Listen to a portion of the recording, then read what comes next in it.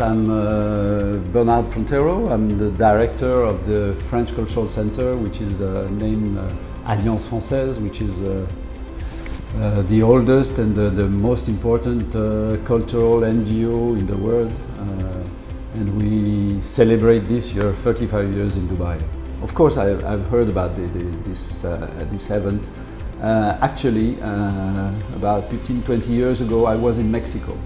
And uh, I worked on that in Mexico uh, doing a night of, uh, of advertising there. Uh, that, that was a great success and people liked it. It was a very good experience. Advertising is not only to sell something uh, for you, it's also to buy something and buying the best thing. So uh, be present.